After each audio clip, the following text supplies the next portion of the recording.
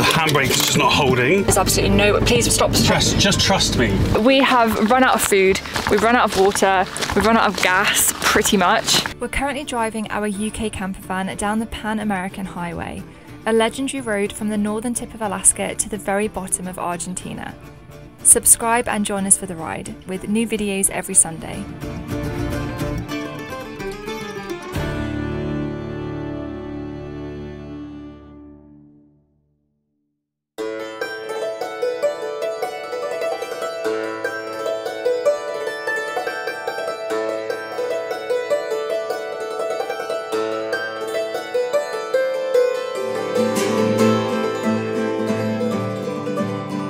Good morning and welcome back to British Columbia and what a beautiful morning it is. But don't let that fool you because the last two, three days it has been absolute torrential and continuous rain. It was literally like being back home. In fact, I think it's the most rain we've seen since being back home. But we're parked up in this beautiful little spot just off the 37. This massive open space, just us here. Anything? No, we are good. Yesterday, I was just stood here at the front of the van, and all I could hear was this squeak, squeak, squeak. And I thought, what is that? I thought Scout was out with me with his toy. I opened up the bonnet, and there was a chipmunk inside, just sat there. Opened up, it was just staring at me. So I was looking in like this, thinking, where is it? And then squeak, squeak. Then all of a sudden, it was like this. It was like. It wasn't. I'm only joking. What actually happened is a chipmunk dropped down somewhere like this. And bounced away and ran out from the inside the van.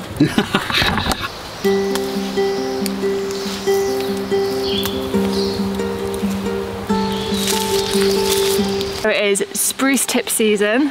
At the end of these like spruce trees, there's these little jelly-like tips and they're edible. You can make them into jams. They're really good for teas. They're full of like vitamin C, loads of antioxidants, like really good for you.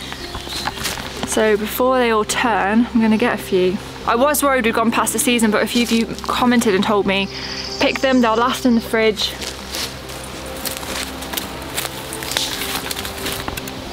I've never tried spruce tips before. The smell is amazing, doesn't it? But yeah, we have run out of food, we've run out of water, we've run out of gas, pretty much. I think the last time we were in a major town was when we were in Whitehorse in the Yukon, which was what, three weeks ago? Like that, yep. We have no food left. We, I really need to wash my hair, we've got no water left. As much as these spruce tips are cool, I don't think they're gonna sustain us for the week.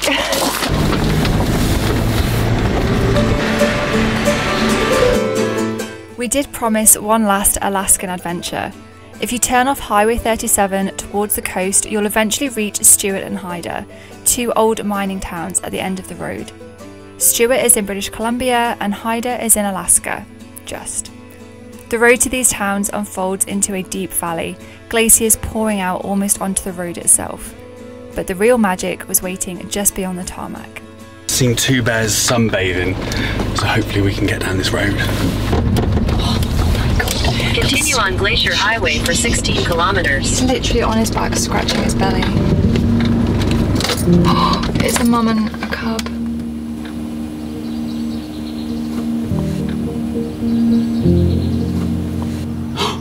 Oh, it's a mum and cubs. Oh my gosh. Oh,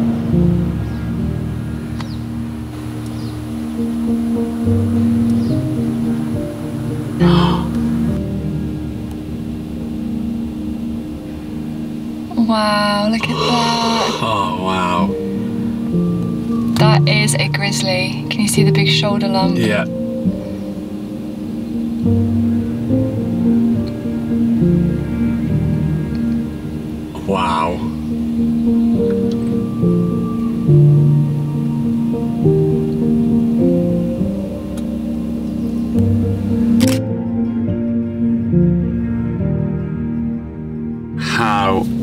Amazing is that? That was awesome. I can just see the top of them still, just in the on the grass on the left. Really? Yeah. Oh, definitely not going out to get any closer look. That's for sure. When we got here, the little baby was like on its back, like sunbathing, just like rubbing its belly, like like blue. Oh, it's so cute. Oh, that has made my day. Let's go and leave them in peace, shall we? Okay then.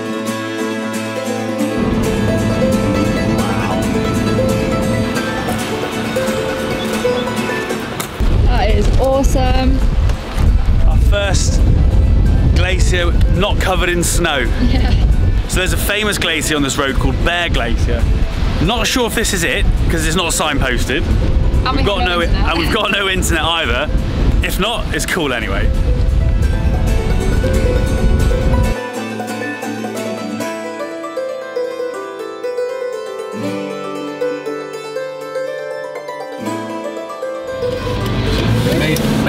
Made Stewart and we need to try and stock up on some essentials.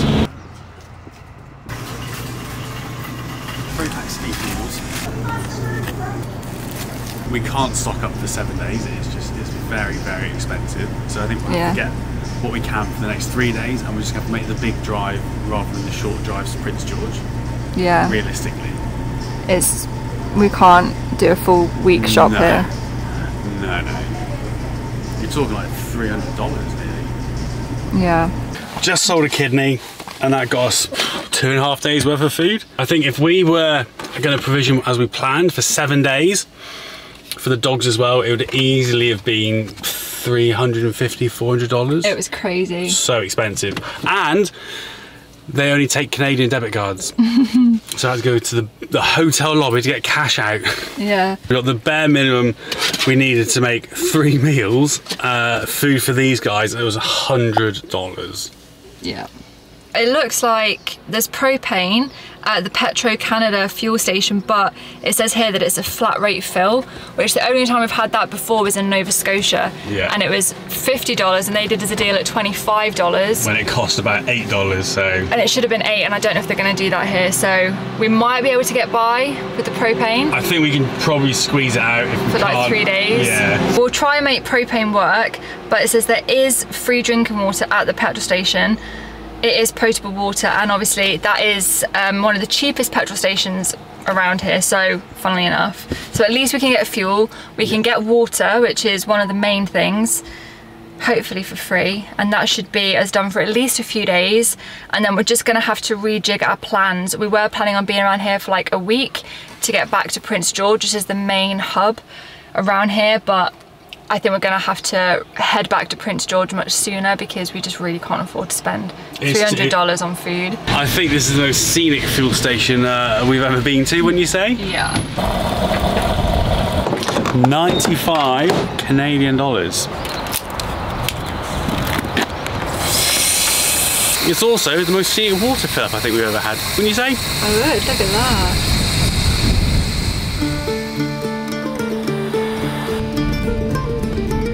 So, for the final time, should we go to Alaska? Let's go to Alaska. Because this is the only road in and out of Hyder, we believe that there is no customs, apparently. That's all we've heard. Here it Welcome is. to the United States of America.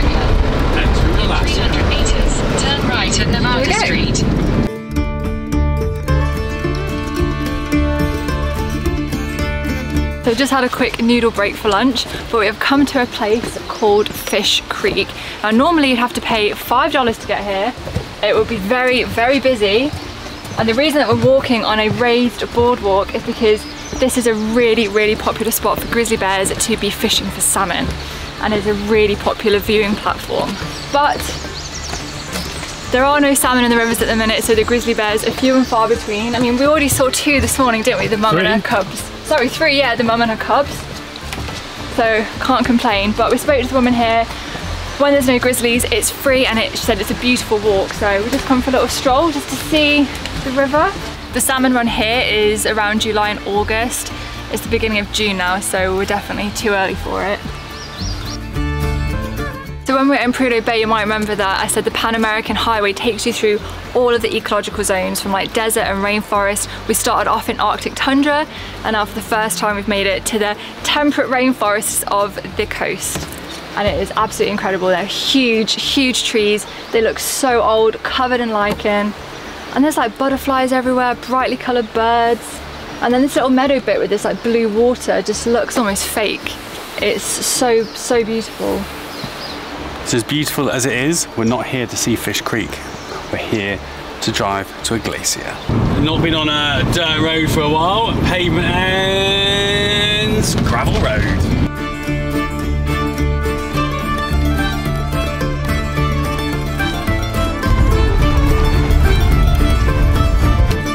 So we're twisting and turning up the side of this mountain. It's a beautiful drive.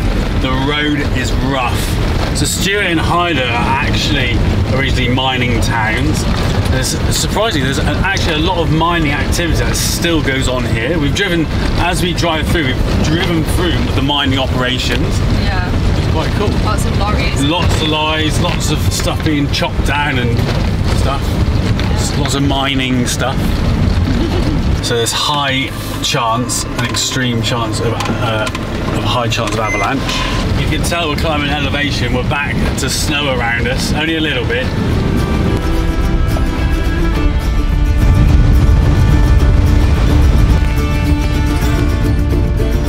You'll never believe it, but there's a British van in front of us. There is.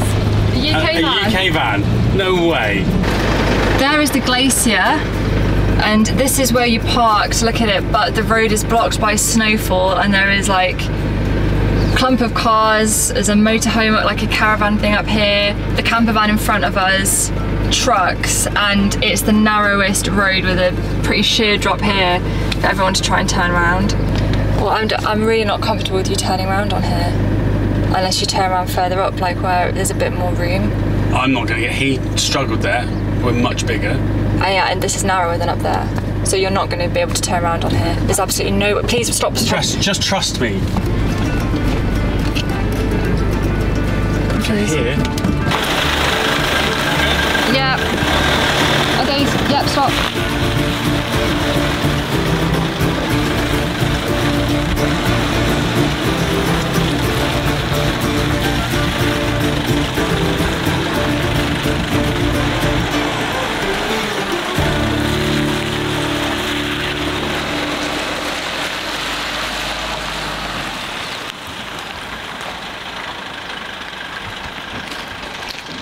The handbrake is just not holding. Like, just. I need to tighten the handbrake. It's re- really loose. I'm really going to struggle to park on this road. There's actually nowhere safe to park. I think we have to drive back up to. Um, There was a little picnic area that had a view of the a, a different view of the glacier. We Yeah. can try there. should we you go and drive there and have a look? See what it's like. Yeah. Okay, go on, You don't a feel safe parking on. Not, not. I know I can't. The, the van will be in the bloody down there with the bloody glacier. Let's, let's get all the. Ah, to try and work out how to fix that. This is not the place you don't want your handbrake to be working. No, this is the place you need your handbrake to be working. We're a little bit further away than we wanted to be, but this is Salmon Glacier. It's the world's largest glacier that you can drive to. Further on from where all those cars were, there is another viewpoint, but apparently that's buried under 20 foot of snow at the minute. So we knew we couldn't get to the main viewpoint, but even that car park was pretty, like, was not great. You can see the valley that it's carving already. It's incredible. You're witnessing the timeless dance of ice and stone. As we watch, the glacier is carving and shaping the earth beneath it. It reached its peak 14,000 years ago, sculpting jagged mountains and icy canyons. As it melts, the glacial water breathes life into the forested valleys below, a testament to the eternal forces that shape our entire planet.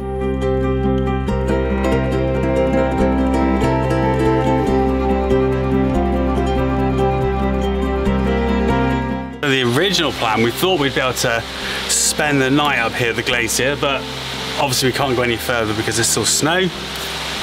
This doesn't feel the safest, like it's a bit of a slope. We're right near the edge. And because of the handbrake issue, I don't really want to. I can stick rocks behind and it'll be fine. But, so I think our best option is battle our way back, go to into Hyder, into Stewart, and then park up next to a river for the night, I think.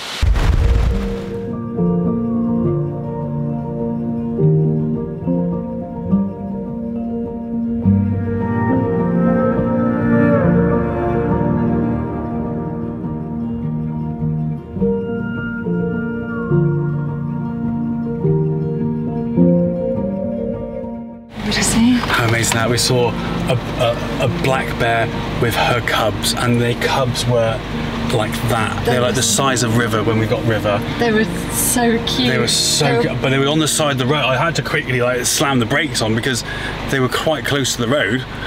Oh, that was so cool. They were like proper baby bears, weren't Yeah. they? They were so tiny.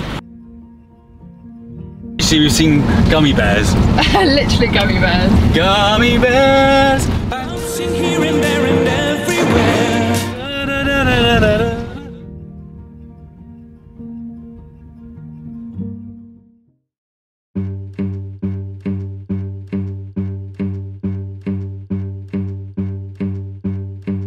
Well, good morning. It is the next day. We left Stewart and Hyder yesterday and we popped back up to that glacier that we saw at the side of the road. If you remember, we thought it was called Bear Glacier. Turns out it was Bear Glacier and there's a little park up here. We actually had some friends join us for a coffee yesterday. Very familiar faces, a few of you will know. They were massive inspirations to us when we first built our van. Um, so it was really cool to meet up with them on the other side of the world. They're on holiday here driving from Can- no, yeah, driving from Seattle up to Alaska. It was Theo and B from the Indie Projects. We had such a lovely evening with them. They stopped by for coffee and they didn't leave till like gone 10 o'clock. None of us had had anything to eat. Um, so yeah, we just crashed last night, but it was so lovely to catch up with them. But yeah, we are parked right near Bear Glacier. In fact, we wanted to park down here last night. As you can see, there's just a track here. On the photos on iOverlander, all of this is completely dry. But I guess with the snow melt, it's all flooded now, so we couldn't get down here. You're not going to take an early morning swim? Hell no. The glacier is literally just around that corner, you can't quite see it. But this water is fresh off the glacier, no way. I've not even put my hands in it. I'm cold this morning. Because you can see there's a firing just in this little gravel bit that's in the middle of the river, and there's tyre tracks there. That would be, ima- imagine this would be so epic to park in.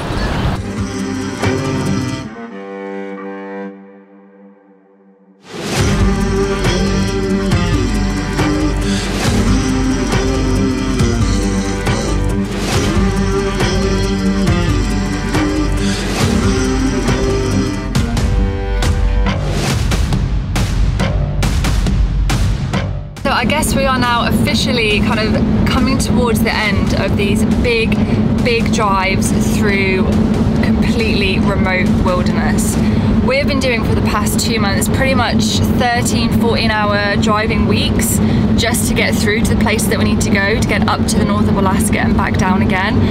And just to kind of put it in perspective as to just how vast it is up here, when it was COVID, we were on the west coast of Portugal, right? And Spain was closing their borders and there was all this drama going on. So we made the decision the decision to drive from Portugal back to Calais to get back to the UK before Spain shut their borders. And it was a 14 hour drive from where we were to Calais. And we were like, oh my God, this is a mammoth drive. We have got to get ready. It was just like a massive thing. And we did it in two days. And it was like, if you imagine all of the history, all of the different places that you can see from the west coast of Portugal up to Calais, from northern Spain, the Pyrenees, the south of France, the west coast of France, all the different places, all the different languages and the different cultures on that stretch. Driving 15, 16 hours through Europe, how many different landscapes and places that you'll pass? Whereas here, you can drive for 15 hours, still be in the same forest, and maybe pass a handful of settlements. And we've been doing that for like two months. That is just how vast it is up here. It's almost incomprehensible. And we're gonna miss it so much, aren't we? We're- The roads are starting to get a little, a little bit busier the further south we're heading. And yeah, it's been absolutely epic.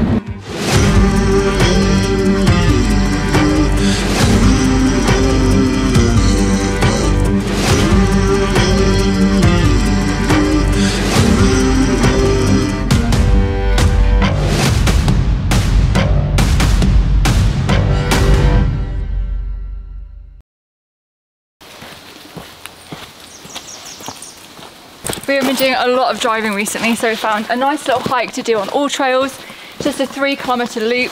So we spent the past two months driving through this thick, thick forest. And now we're getting to walk in it and it's absolutely beautiful. It's so dense. Got the bear spray and we're singing our bear songs. Come on.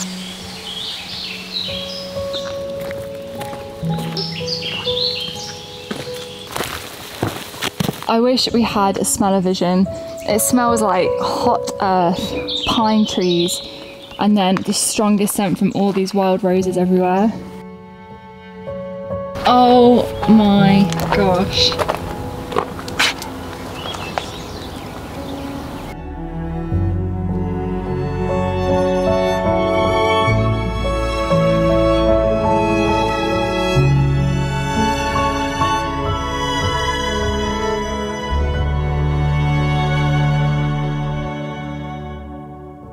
Climbed through that thick, thick forest onto this lookout point, and I just can't believe how much forest just stretches into into the horizon. It's like the land before time.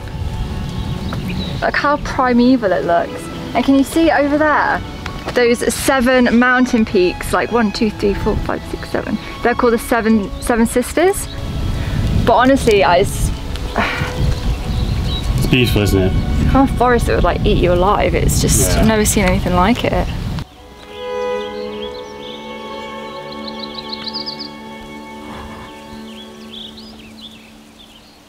Let's get loud, let's get loud.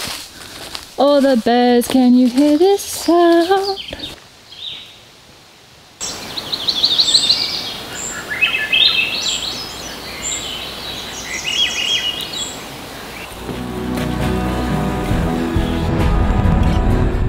About to go over a crazy narrow single lane metal grid bridge.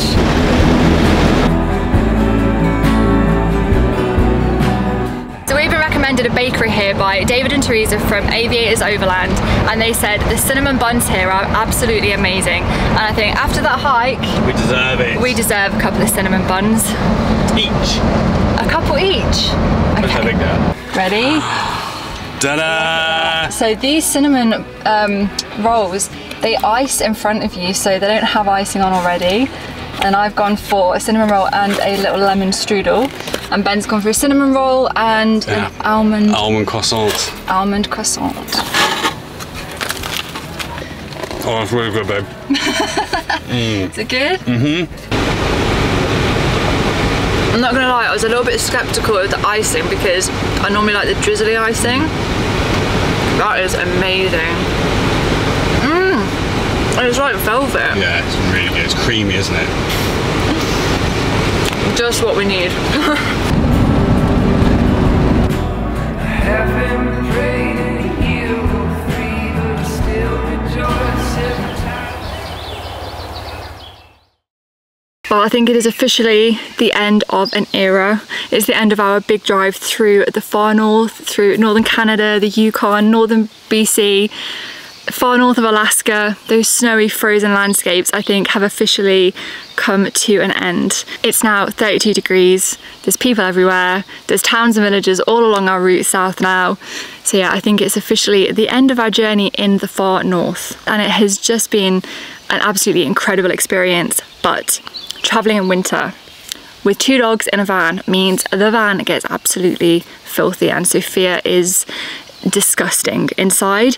It's really hard obviously when you're all living in that small space with the dogs and everything to get everything cleaned out, to get everything deep cleaned because normally for that we need the dogs or one of us to be out of the van so we can give it all a good scrub down which is impossible when it's cold and snowy and wet outside. So what we've got in there is an accumulation of maybe three, two to three months worth of filth. Today she's having a deep clean. I'm going to organise everything and just get Sophia feeling like a new woman, ready for the summer.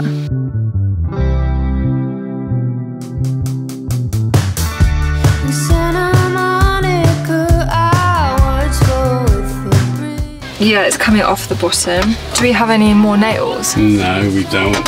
So we're just sorting out our food cupboards and one of them, the bottom is coming away of the drawer. They're only nailed in, weren't they? Yeah. I think they have shooken loose. Everything could do with a tighten after at least the last six weeks driving all the way up on crap roads, wouldn't you say? Yeah, well, we've got two years since we've done this. Yeah, that's including true. all over Turkey, Yeah, Mexico. that's true. Something beautiful, and I can't help but feel. Dead horse. Who has a postcard that is a picture of a road sign? I also got this pack of really cool illustrated cards from when we're in Denali. I got them because of this one, which has got like a, a wolf staring at his reflection.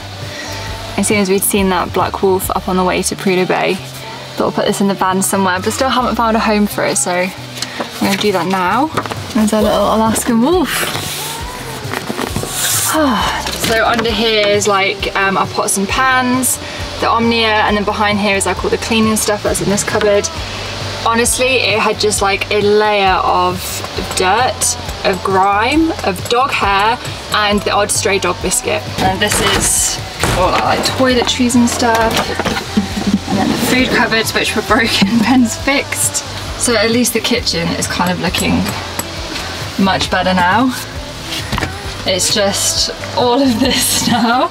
It's the toilet, we've got this cupboard and let me show you state of my clothing cupboard. It's just shoved. It doesn't even shut properly. One thing I've realised as I'm showing you around in the cupboards and stuff is that we have never ever done a van tour of this layout. We did a van tour about four years ago when we first built the van. Since then we've ripped it out, rebuilt it like this, driven to Turkey and back, and then now all the way up to Alaska. So this layout, layout has had a full test run. I think we can tell you everything that works, doesn't work, how it's managed on some crazy roads. Um, as some of you know, in July we have two weddings that we have to fly back home for. We were gonna have a break from YouTube for those couple of weeks, but we're just wondering if you'd be interested in a van tour, maybe we could squeeze it in then. So if you're interested in a van tour, let us know in the comments and maybe we'll try and find some time to film it before we go and show you around what we've been living in for the past or two and a half years.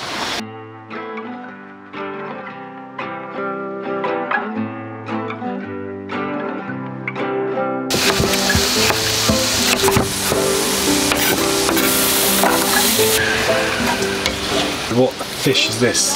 So this is one that we haven't had before. Um, it's called rockfish. And like, it was only five Canadian dollars for like two decent sized fillets. Like normally some of the fish are like 13, 15 dollars. So I've Googled it and it seems to taste like, ta people say it tastes really nice. It's from the like, so I don't know.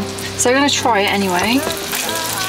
See what it's like. But yeah, five dollars for, for all of that. Oh, it's not a Ben caught fish, is it yet though? It's not, no, it's not from Ben yet. I'm working on it, I'm working on it. We have got courgette, lemon and feta orzo with this rockfish with a, like a lemon and garlic little butter thing on top. So it should be nice, nice and fresh and summery. Very nice. Am I the guinea pig? You are the guinea pig. Oh no. I've never made this before. No. There you go, enjoy. Thank you, baby. We're really making progress. You can see as we're really starting to head south now. So when we were, hang on, let me just back to Fairbanks. We've kind of been heading southeast, whereas it was here. So last week we came down the 37 and this is the Stewart Cassiar Highway. This is the, there's two roads that go through British Columbia up to Alaska.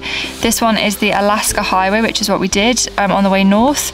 And we're coming back down this one, which is the Stewart Cassiar Highway. Um, so that Boya Lake, that beautiful, amazing turquoise lake was only just here.